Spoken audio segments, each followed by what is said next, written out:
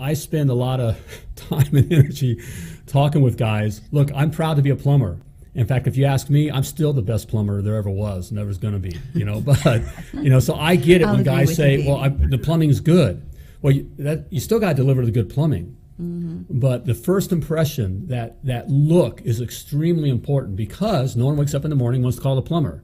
They are they are scared. They are afraid. They're worried about spending money.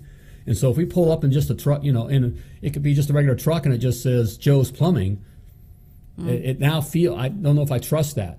Right. And we, we so we, we kind of been conditioned to think, well, that says that I'm cheap. Well, if that, that says you're cheap, that also means your work is cheap.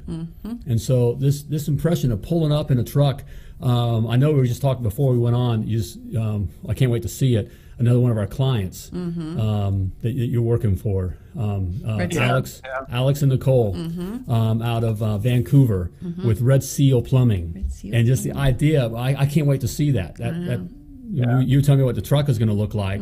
That pulls up. If just one sweet. truck, it just says it makes the customer feel like uh, this is a real company, Right. and I can trust these people. You know, um, it makes and, a difference. and the other part too, Richard, too, like we, we talk about is you know the concept and the idea of, of you know winning the battle on the street. So so as you think about impressions, you know a, lot of guys mistake the vehicle and think that that's a call to action. Well, it's not necessarily a call to action because mm-hmm. unless I need plumbing right that second, I'm not it. doing anything. right. But will I remember the name when it comes time to need the service? So would you rather be Googling, you know, plumbing repair New Jersey, or would you rather just be Googling the name of the company?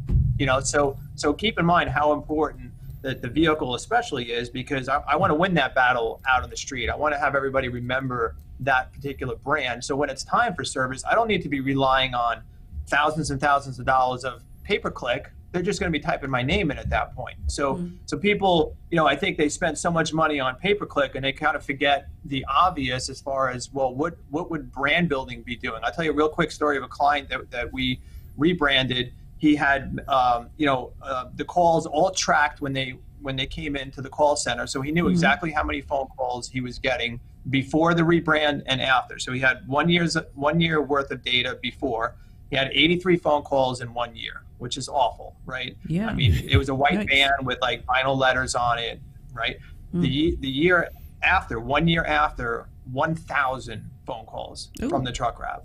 So Right. 10x basically, Mhm. 10x. So so like that's when you know it's really really working. And think about all the revenue generated from a thousand additional phone calls, essentially, right? Like it's it's it's absurd. So like you know you can't beat the medium but the problem is is most guys don't understand the medium and most are the most of the wraps you see out on the road are actually awful so Right. so making sure you invest properly in it is is, is really where you yield the, the biggest dividends on on that so Oh yeah, it's such a huge opportunity in our industry, guys, for, for a Yeah. one man truck to look like, you know, they are the, the business in in that town.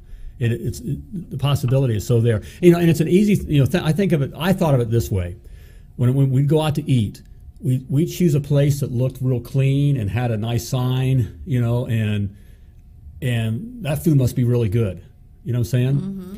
Where we wouldn't go to the hole in the wall place though Right, the food may be just as good, but it's like the first the, that first impression just just just just doesn't hit us. Right. And I, I bet for a lot of you know you guys out there, you, mm-hmm. you think kind of the same way. Right. You know, Yeah. and that's certainly how our Yeah. customers are thinking about us. Mm-hmm. You know, the Yeah. plumbing may be the best,